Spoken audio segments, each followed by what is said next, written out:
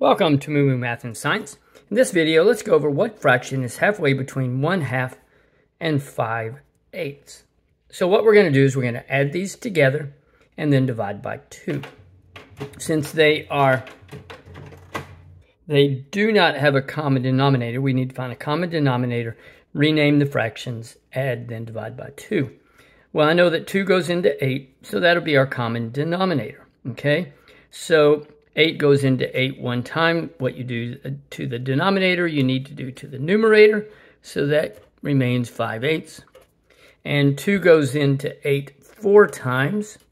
So again, what you do to, to the denominator, you need to do to the numerator. So let's multiply. 1 times 4 is um, 4. And 4 times 2 is 8. And then we're going to add that to 5 eighths. Now what we do is we just add straight across and keep the same denominator. So that gives us 9 eighths. Okay, now we need to divide by 2. So we're going to just write the 2 over 1.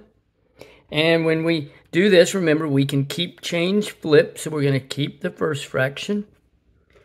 We're going to change the division sign, and then we're going to flip the last fraction. 9 times 1 is 9. 8 times 2 is 16.